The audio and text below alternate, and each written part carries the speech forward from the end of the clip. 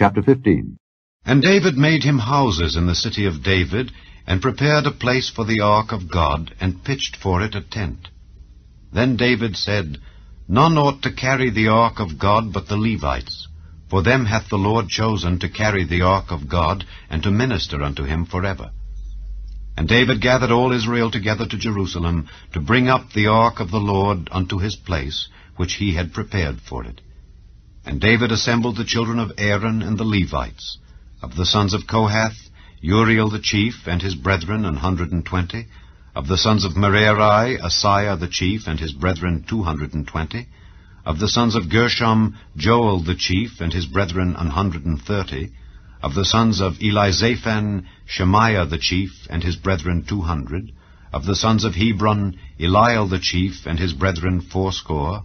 Of the sons of Uzziel, Amminadab the chief, and his brethren an hundred and twelve. And David called for Zadok and Abiathar the priests, and for the Levites, for Uriel, Asaiah, and Joel, Shemaiah, and Eliel, and Amminadab, and said unto them, Ye are the chief of the fathers of the Levites. Sanctify yourselves, both ye and your brethren, that ye may bring up the ark of the Lord God of Israel unto the place that I have prepared for it. For because ye did it not at the first, the Lord our God made a breach upon us, for that we sought him not after the due order. So the priests and the Levites sanctified themselves to bring up the ark of the Lord God of Israel. And the children of the Levites bare the ark of God upon their shoulders with the staves thereon, as Moses commanded according to the word of the Lord. And David spake to the chief of the Levites to appoint their brethren to be the singers with instruments of music, psalteries and harps and cymbals sounding, by lifting up the voice with joy. So the Levites appointed Heman the son of Joel, and of his brethren Asaph the son of Berechiah, and of the sons of Merari their brethren Ethan the son of Kushaiah.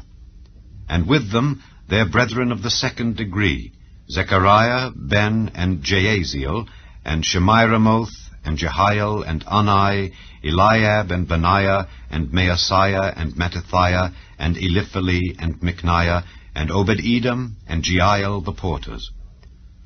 So the singers, Heman, Asaph, and Ethan, were appointed to sound with cymbals of brass.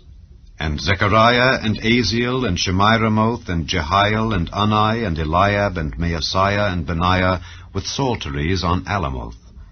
And Mattithiah, and Elipheleh, and Mikneiah, and Obed-Edom, and Jeiel, and Azaziah, with harps on the Sheminith to excel. And Chenaniah, chief of the Levites, was for song. He instructed about the song because he was skilful. And Berechiah and Elkanah were doorkeepers for the ark. And Shebaniah and Jehoshaphat and Nethaneel and Amasai and Zechariah and Benaiah and Eliezer the priests did blow with the trumpets before the ark of God. And Obed-Edom and Jehiah were doorkeepers for the ark. So David and the elders of Israel and the captains over thousands went to bring up the ark of the covenant of the Lord out of the house of Obed-Edom with joy. And it came to pass, when God helped the Levites that bare the ark of the covenant of the Lord, that they offered seven bullocks and seven rams. And David was clothed with a robe of fine linen, and all the Levites that bare the ark, and the singers, and Chenaniah the master of the song with the singers. David also had upon him an ephod of linen. Thus all Israel brought up the ark of the covenant of the Lord with shouting and with sound of the cornet, and with trumpets and with cymbals, making a noise with psalteries and harps. And it came to pass, as the ark of the covenant of the Lord came to the city of David, that Michal, the daughter of Saul, looking out at a window, saw King David dancing and playing, and she despised him in her heart.